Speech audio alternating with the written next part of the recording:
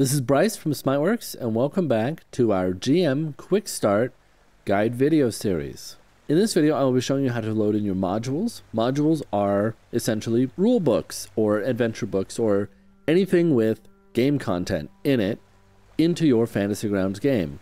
Once again, this is for Game Masters. I will be showing you in Dungeons & Dragons 5th edition. However, this works in all Fantasy Grounds rule sets. The easiest way to load in the rulebooks that you want is from the setup screen. The setup screen automatically opens when you first load into a campaign, but if you've accidentally closed it or closed it intentionally, don't worry. I'll show you how to find it. We're just going to navigate up under the tools section of the toolbar. I'm going to click options. When the options window opens up, we're going to hit setup. From campaign setup, we will hit next, scroll down. We can either click modules to load in individual modules or we can load in all of the rules that we want. I'm just going to click 5e all rules. If you do not own all the rules, it will load the ones that you have. You can also do core rules to just pick the core rules of whatever rule set you're running. Or if supported, you can choose the SRD, which are the free rules for the rule set that you have. We'll pick 5e all rules.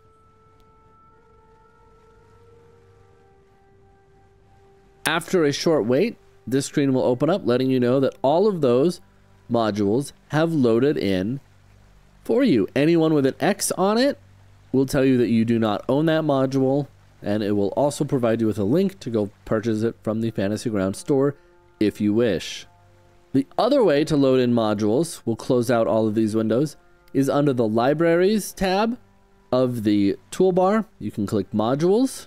That will open up this window, which you will see all of your loaded in modules in. You can then click Activation down in the bottom left side and this will show you all of the modules that you currently own, including all of your adventures and anything purchased on the Forge. Here's some MCDM products. Come over there, there's some Kobold Press, here's some Wizards of the Coast. Let's just load in uh, Descent into Avernus as an example.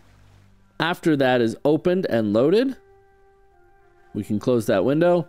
You will now see it under the Adventures in your Modules window. All right, now let's say you loaded a module that you did not intend to. We're going to come down to activation. We're going to search for it. Should be enough. Descent into Avernus players. Uh, Descent into Avernus, um, the adventure. We're going to unload that because we actually meant to load the player version. The difference between players versions and the actual modules, the players version has all of the players information uh, including any races that an adventure might add or anything like that. And the regular one is just the adventure. With that done, we can then close that out and we've got all of our modules loaded and ready to go for our players to join in and use them.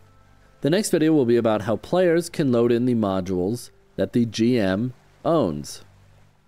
If you want to stay up to date on these videos, remember to hit the subscribe button and click that little like bell keeps you notified when these are posted. If you found this video helpful, please leave a like. And remember, you can always learn more at fantasygrounds.com.